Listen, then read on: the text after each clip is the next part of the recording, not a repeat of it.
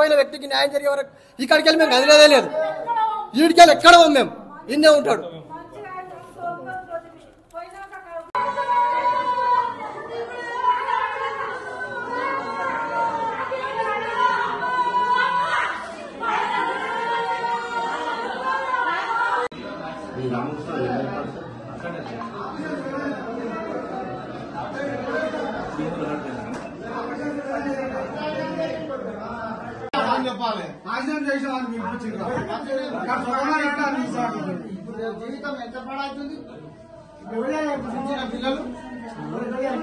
బిల్లులు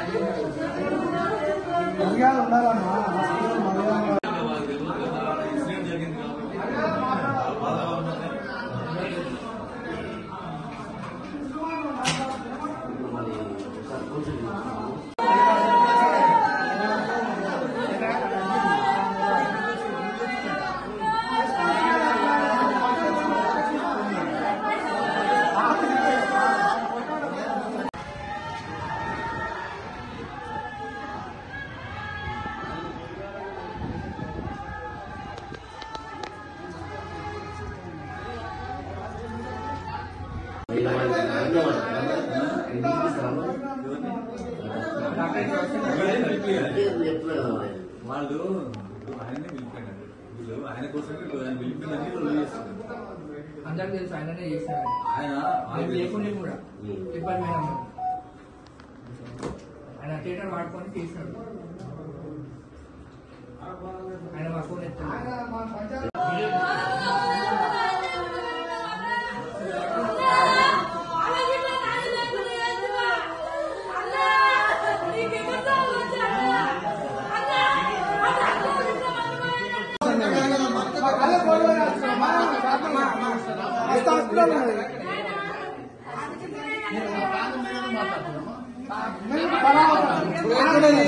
మేడం గ్రామంలో RMP doctor RMP doctor ఉంటారు వస్తాం ఆర్ఎంపీ డాక్టర్ చేసి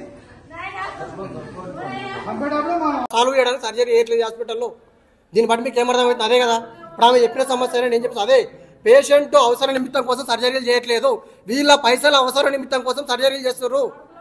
దాని త్వరలో దాన్ని ముగించుకోవాలా? ఫస్ట్ పేషెంట్కి నీడున్న చేయాలి మీరు? పేషెంట్కి నీళ్ళు లేదు మీరు ఎందుకు చేస్తారు? మీ హాస్పిటల్లో సార్ ఈఎన్టీఏ లేడు. ఈఎన్టీ ప్రాబ్లం మీరు ఎట్లా సాల్వ్ చేయగలుగుతారు?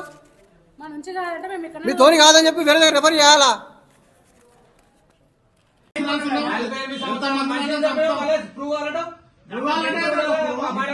అంటే డాక్టర్ అదే రాయి,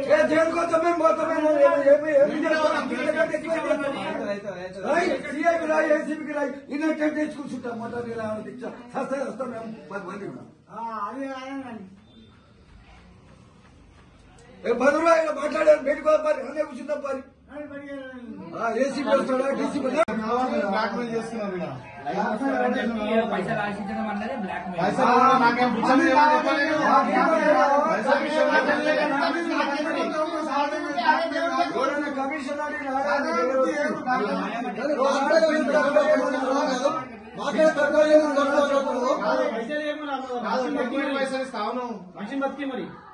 అది పాజిబుల్ కాదు కదా. ఇప్పుడు ఏం మన సొల్యూషన్ చెప్పండి. అప్పుడే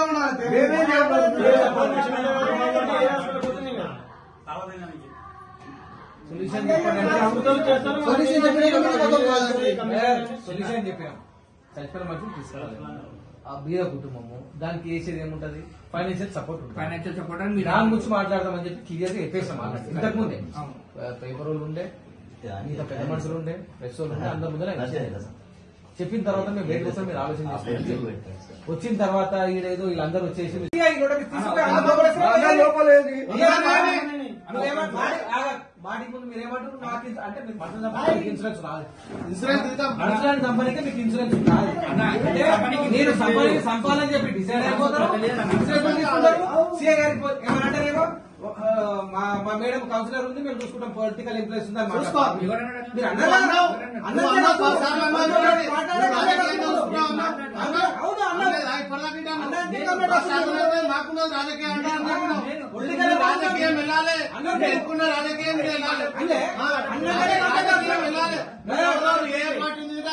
మాట అన్నాకనే ఒక మోసం చేసుకుంటూ ఇన్సూరెన్స్ తీసుకుంటూ ఎంతమంది దంచుకుంటూ పోతాడు మీరు పోలీసు మీరు డాటా తీసుకున్నారు అది సంవత్సరం మీరు ఒక మనిషి చచ్చిపోతారు ఏదో రకంగా వైద్యం కట్టించి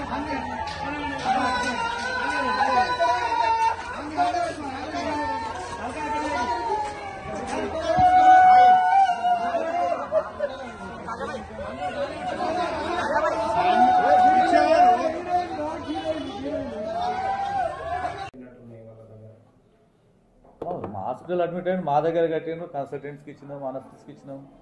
తర్వాత హాస్పిటల్ ఎక్స్పెండిచర్ ఇవన్నీ ఉంటాయి కదండి ఎక్కడొక్కడే డివైడ్ అయిపోతాయి. మా దగ్గరే జరిగింది హాస్పిటల్. అంటే బయట నుంచి డాక్టర్ వచ్చి ఇక్కడ ఆపరేషన్ ఆయనే doctor EN doctor Ramakrishna ENT surgeon. ఆయన వచ్చేసి అన్ని అప్పుడు ఆపరేషన్ అన్ని పోయినాయి. అన్ని మొత్తం చెప్పింది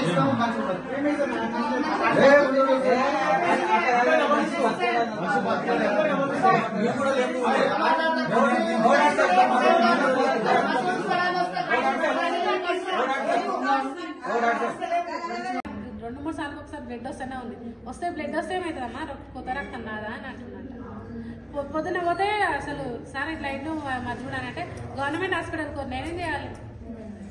ఇట్లా మాట్లాడుతుంది. గవర్నమెంట్ హాస్పిటల్ వేసినా అని ఆపేశాను నువ్వు ప్రైవేట్ వాడవే పట్టనోడు గవర్నమెంట్ పడతారా? ఆ బ్లడ్ బ్లడ్ వచ్చింది నిన్న భయపడి హాస్పిటల్కి వస్తే ఆ బ్లడ్ అట్లనే వస్తుంది ఏం కాదు తక్కువ అవుతుంది అని చెప్తున్నాడు ఇప్పుడు వస్తున్నావా మీరు వారాని అన్నోడు దెనుకో పోయిండాడు. ఆడేడున్నా రావాలన్నా దుగుట్ల నరసింహ మా బాబాయ్ అవుతాడు. తను లాస్ట్ మంత్ పన్నెండవ నెల రెండు తారీఖు ఈ హాస్పిటల్కు సర్జరీ కోసం వచ్చిండు. సర్జరీ ఏంటంటే సైనసిస్ సైనసిస్ ప్రాబ్లంతో వచ్చిండు ఇక్కడికి ఆ సర్జరీ వాళ్ళు వీళ్ళు చేసిర్రు. రెండు తారీఖు సర్జరీ చేసిర్రు. తర్వాత రెగ్యులర్ ఫాలోఅప్స్ కోసం అని చెప్పి రెగ్యులర్ ఫాలోఅప్ కోసం వస్తారు సర్జరీ చేసిన తర్వాత బ్లడ్ రావద్దు. వాళ్ళు సర్జరీ అయినాక. ఆ బ్లడ్ ఎట్లా వస్తుంది మళ్ళీ? మళ్ళీ ఆ బ్లడ్ వస్తుంది రెగ్యులర్గా బ్లడ్ వస్తుంది అని చెప్పి ఫాలోఅప్ కోసం వస్తే తగ్గుతుంది తగ్గుతుంది అని చెప్పి రెగ్యులర్గా చెప్తారు రెగ్యులర్గా ఫాలోఅప్ చేస్తున్నాం రెగ్యులర్ చెప్తున్న వాళ్ళతో కాకపోతే వేరే హాస్పిటల్ రెఫర్ చేస్తే సరిపోయేది. దాంతోపాటు నిన్న ఈవినింగ్ కూడా ఫాలోఅప్ వచ్చాము ఇక్కడికి. నిన్న ఫాలోఅప్ వస్తే వాళ్ళ హాస్పిటల్ వాళ్ళ వేరే దగ్గర పంపించారు. ఫాలోఅప్ కోసం అని చెప్పి. ఎవరైతే సర్జరీ చేసారో ఆ డాక్టర్ దగ్గరికి ఫాలోఅప్ కోసం పంపించారు. ఇక్కడికి వస్తే ఈరోజు మార్నింగ్ వచ్చే వేలోపు అంది వేలో పర్సన్ చనిపోయాడు. అది జరుగుతున్న విషయం ఇక్కడ. ఈ హాస్పిటల్ మరీ దరిద్రం అంటే దరిద్రం. ఎవరు ఈఎన్టీ లేకుండా సర్జరీ ఎట్లా చేస్తాడినా ఒక స్పెషలిస్టు ఎంటైర్ తెలంగాణలో లేరు ఈఎన్టీలు అక్కడ వాళ్ళు అక్కడ వ్యక్తి దొరుకుతారు ఈఎన్టీ హాస్పిటల్స్ సర్జరీ ఎట్లా ఈఎన్టీ లేకుండా.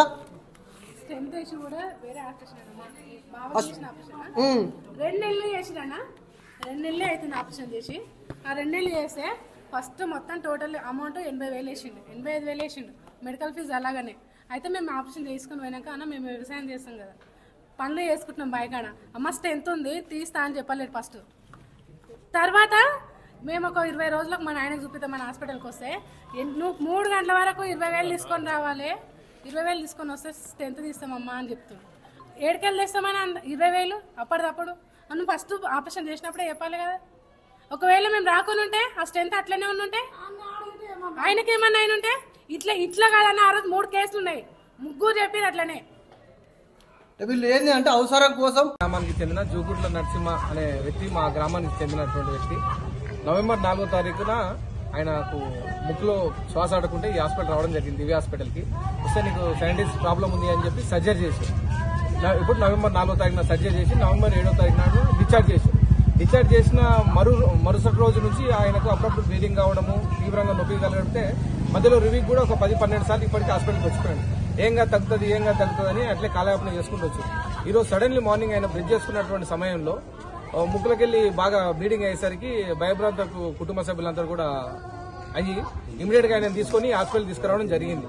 ఈ హాస్పిటల్ తీసుకొచ్చిన తర్వాత ఆయన ఇక్కడికి వచ్చిన తర్వాత డాక్టర్ గారు చేపట్టుకొని ఆ ఈ- హాస్పిటల్ ఇప్పుడు మనం చేయలేము మీరు గవర్నమెంట్ హాస్పిటల్ తీసుకుపోండి నేను అక్కడికి వస్తున్నా అని చెప్పి దిలీప్ డాక్టర్ దిలీప్ చంద్ర గారు ఈ విషయం చెప్పడం జరిగింది. చెప్తే డాక్టర్లు ఇది వాస్తవేమో డాక్టర్ అక్కడ వస్తా అని చెప్పి అదే వెహికల్ ఎక్కించుకొని తీసుకొచ్చినటువంటి వెహికల్ వేసుకొని అప్పటికి చచ్చిపోయిన సంగతి మాకు తెలియదు. తీసుకొని కుటుంబ సభ్యులందరూ కూడా గవర్నమెంట్ హాస్పిటల్ దగ్గర తీసుకోవడం జరిగింది. అక్కడికి వెళ్ళిపోయిన తర్వాత కూడా డాక్టర్ గారు ఫోన్ చేస్తే డాక్టర్ గారు లిఫ్ట్ చేయకపోవడం వల్ల మళ్ళీ ఇక్కడికి వచ్చేసరికి ఆయన ఇక్కడ ఉన్నటువంటి సిబ్బంది చూసి నేను చనిపోయిండు అవసరం లేదు ఇంటికి వేసుకపోండి అని చెప్తే బంధువులు అప్పటికప్పుడు కుటుంబ సభ్యులు వెనక ఉన్నటువంటి బంధువులు అప్రమత్తం అయిపోయి వాళ్ళ బాధలు మాకు ఫోన్ చేస్తే మేము ఇక్కడ రావడం జరిగింది. ఇక్కడికి వచ్చిన తర్వాత ఆల్రెడీ వాళ్ళు పేషెంట్ చనిపోయడం నిర్ధారణ అయిన తర్వాత ఇట్లా అయిపోయింది డాక్టర్ ఇట్లా అయిపోయింది. అంటే అయ్యా అవుతుంటే మస్తు అవుతుంటే మస్తు పోతుంటే అంటే అది ఏంది అంత నెగ్లిజెన్స్గా మాట్లాడుతున్నారు మీరు ఒక డాక్టర్ అయ్యండి అంటే ఆ మస్తు అయిపోతుంటే నాకు ఇన్సూరెన్స్ చాలా ఉన్నాయి. మీరు ఏం చేసుకుంటారో చేసుకోపోండి నా భార్య కూడా కౌన్సిలర్ మీరు ఎంత నాకు హైలీ పొలిటికల్ ఇన్ఫ్లుయెన్స్ ఉంది. నాకు అన్ని అన్ని రకాలైనటువంటి సమాజంలో అందరిని కూడా నేను మేనేజ్ చేసుకోగలను. మీరు నన్ను ఏం చేయలేరు నాతో ఎక్కువ డిస్కషన్ అవసరం లేదు అని చెప్పి. నేను మాట్లాడుతుంటేనే ఆయన డాక్టర్ గారితో మేము మాట్లాడుతుంటే ఎవరో పోలీస్ అధికారి ఉంటాడు. మన లోకల్ వాళ్ళు గారు బహుశా ఎవరో బయట వాళ్ళు ఆయన సర్కిల్ అయి ఉంటారు. ఫోన్ చేసి ఆయనతో మాట్లాడి ఆయనతో ఏం చెప్తానంటే నిన్న సాయంత్రం చనిపోతే వీళ్ళు ఇవాళ తీసుకొచ్చిరే అంటారు. ఇలా మా కొత్తపేట గ్రామం చాలా చార్నాడ్ టౌన్కి చాలా దూరం లేదు ఇరవై కిలోమీటర్ల దూరము. పోలీస్ అధికారులు అయితే నీకు కానీ నాకు కానీ ఒక తొత్తులుగా పనిచేయరు కదా వాళ్ళని ఎంక్వైరీకి పెట్టండి. లేదా డిఎంఎండ్హెచ్ గారికి విషయం ఇచ్చినాం దాని మీద కూడా కమిషన్. ఆయన అప్పుడు కాదు ఈ రోజు మార్నింగ్ చనిపోయాడు. నేనేమని చెప్తున్నానంటే ఇట్లాంటి అంటే పొలిటికల్ని అడ్డం పెట్టుకొని వ్యవస్థను అడ్డం పెట్టుకొని వ్యవస్థలో లోపాలను అడ్డం పెట్టుకొని నేను ఇన్సూరెన్స్ చేసుకున్నా అమాయకుల ప్రాధాన్యాలను ఎట్లే తీసుకుంటా అని ఇట్లాంటి డాక్టర్లను కఠిన చర్యలు తీసుకుంటూ ఇట్లాంటి హాస్పిటల్ ఉంటే పేద ప్రజలకు ఇబ్బంది. వీళ్ళకి ఎందుకంటే పేద ప్రజలు పాలిచ్చే ఆవులాక డబ్బులు తీసుకొని వాళ్ళని నాశనం చేసి వాళ్ళ జీవితాలలో మట్టి పోసేటువంటి డాక్టర్లు ఎవడున్నా సరే నిజంగా ఈ ప్రభుత్వం కఠిన చర్యలు తీసుకొని హాస్పిటల్ మీద కఠిన చర్యలు తీసుకుంటూ ఈ బాధ్యత బాధిత కుటుంబాన్ని ప్రభుత్వం ఆదుకోవాలి. సంబంధిత హాస్పిటల్ యాజమాన్యం కూడా దీని మీద దృష్టి సారించి మానవీయ కోణంలో అప్పు సప్పు చేసుకుని హాస్పిటల్కి వచ్చినటువంటి ఆ కుటుంబాన్ని కూడా ఖచ్చితంగా ఆదుకోవాలని నేను మీడియా పరంగా వాళ్ళని విజ్ఞప్తి చేస్తున్నా. పోలీసు వ్యక్తులు కూడా తక్షణమే స్పందించి ఈ దాని మీద ఎందుకంటే పొద్దున మేము పది గంటలకు ఇక్కడికి వచ్చినాం తెలిసిన తర్వాత వాళ్ళు తొమ్మిది గంటలకు వచ్చారు ఇప్పటి వరకు కూడా మామూలుగా ఒకసారి ఎస్ఐ గారు వచ్చిపోయారు ఎస్ఐ గారు వచ్చారు ఇద్దరు మూడు కానిస్టేబుల్ ఎంతసేపు మేము హాస్పిటల్కి ఉన్నటువంటి ఏమైనా డ్యామేజ్ చేస్తామా అని మీకు చేతులేస్తామా అనే కోణంలోనే అందరు ఆలోచన చేస్తున్నారు తప్ప ఆ బాధిత కుటుంబానికి ఏ రకంగా న్యాయం చేయాలనేది మాత్రం ఏ నాయకుడు కానీ ఇప్పుడు ఉన్నటువంటి వ్యవస్థలు ఇప్పుడు వచ్చినటువంటి వారు కూడా ఎవరు కూడా ఆ రకంగా ఆలోచన చేస్తలేరు. నిజంగా ఈ చిగ్గు చేయడు ఒక సాటి మనిషి చచ్చిపోతే కూడా పది గంటలకు చచ్చిపోతే మేము వచ్చి అప్పటి నుంచి డాక్టర్ తోటి మాట డాక్టర్ కూడా ఇర్రెస్పాన్సిబిలిటీగా ఒక డాక్టర్ అంటే మన సమాజంలో ఒక భగవంతుని కొలుస్తాం అట్లాంటి సమాజంలో ఆ డాక్టర్ ఇర్రెస్పాన్సిబుల్ మాట్లాడడం. నా భార్యనే కౌన్సిలర్ అయింది నేను ఏం చేసుకుంటారో చేసుకోండి పోలీసు వాళ్ళు నాకు ప్యాకెట్లు అంటే. మరి అట్లా ఉంటారా? ఉండరు కానీ అట్లాంటి బల్పు మాటలు మాట్లాడుతున్నటువంటి ఇట్లాంటి డాక్టర్లకు బుద్ధి వచ్చేటట్టు వ్యవస్థలో ఉన్నటువంటి అన్ని చట్టాలు కూడా మార్పు చెంది ఖచ్చితంగా పేద ప్రజలకు ఖచ్చితంగా మా న్యాయం జరిగేటట్టు చూడాలని చెప్పి మీడియా పరంగా నేను మా కుటుంబానికి న్యాయం కావాలని చెప్పి మీ అందరు కూడా పెట్టుకుంటాను నే చెయ్యాలి ఇంట్లో. ఎంతమంది పానాలు తింటారు ఇట్లా? మన నుంచి కాదంటే మేము ఎక్కడైనా తోలుకొని పోతుంటే ఆయన ముసలిగా ఉన్నాడు ఆయన ఆ? ముప్పై ముప్పై ఐదు ఉంటాయి ఆయనకు అంతే. ఇప్పుడు మా నాయన మాకు లేకుండా వేసిండనా తెస్తాడు వాళ్ళు బిల్లు లక్ష దాకా అయినాయనా టాబ్లెట్లకు దానికి దేనికి ఆపరేషన్ మొత్తం. మూడు గంటలన్నర వేసిరా నా ఆపరేషన్. ఏడ వేసిన హాఫ్ అన్ అవరు గంట. అంతకు మించి ఏడే అసలు నేను ఇన్ని ఆపరేషన్లు చూసినా కదా నేను కూడా నాకు బాబు పుట్టిండు ఒక హాఫ్ అన్ అవర్ పట్టింది అంతే ఇది అంతకన్నా పెద్ద ఆపరేషన్ మూడు గంటలన్నర చేసిండు ఇలా. ప్రతి ఒక్క ఆపరేషన్ మూడు గంటలన్నర పడుతుంది టైం మా ఆయన చేసినప్పుడు కూడా మూడు గంటలన్నర పట్టింది. ఆ రోజు మస్తు తిప్పలు పెట్టింది బ్లడ్ పోయింది అది పోయింది ఇది పోయింది. ఈ ఒక్క కేసులు కాదు మా ఆయనకు స్ట్రెంత్ తీసిన రోజు కూడా ముగ్గురు ఏడ్చిరన్న ఈ హాస్పిటల్కి వచ్చి ఒక ఆమెకు భర్త లేడు. ఆమె వచ్చి ఇప్పుడు ఏం చేయాలని పుస్తెళ్తాడు అప్పుడప్పుడు కూదబెట్టి తీసుకొచ్చి స్ట్రెంత్ తీపించుకొని పోయింది. ఇది చేస్తాము అని అంటే చేవి చేయాలి కానీ ఇట్లా పానాలు తీస్తే ఏం లాభం అన్న? ఆలకూర ఆలకూర కాదు పెళ్ళం పిల్లలు అందరూ. ఇప్పుడు మంచిని తెస్తారా? నాకు సర్దుండే. సర్దుందని ఈ హాస్పిటల్ దొరకొని వచ్చినాం తోలుకొని వస్తే doctor event doctor event doctor చేశాడంటే ఇది. ఇది మా నుంచి కాదంటే మేము చేపియకపోతుంటాం ఇలా మేము చేసాం ఖచ్చితంగా అని చెప్పిండు. చెప్పి ఒక రెండు తారీఖు వేసిరు ఇంట్లో రెండు తారీఖు వేసిరు రెండు తారీఖు వేసినాక ఒక నాలుగు రోజులు ఉంచుకొని పంపించారు నాలుగు రోజులు ఉంచుకొని పంపించినాక లోపల ముక్కల నుంచి పట్టి తీస్తే బ్లడ్ వస్తుంది. బ్లడ్ వస్తుంటే బ్లడ్ ఎందుకు వస్తుంది సార్ ఇట్లా అంటే ఇవి ఆప్షన్ నిన్నమని వేసినాం కదమ్మా అది లోపల ఇంకా మానకుంటుంది. ఇట్లా వస్తుంది అని చెప్పి. అది కంటిన్యూగా వారం రోజులకు ఒకసారి వస్తూనే ఉంది. అయితే రెండు సార్లు ఇక్కడికి వస్తే ఈసారేమో వేరే హాస్పిటల్కి పంపించిండు లిమ్స్ హాస్పిటల్కి.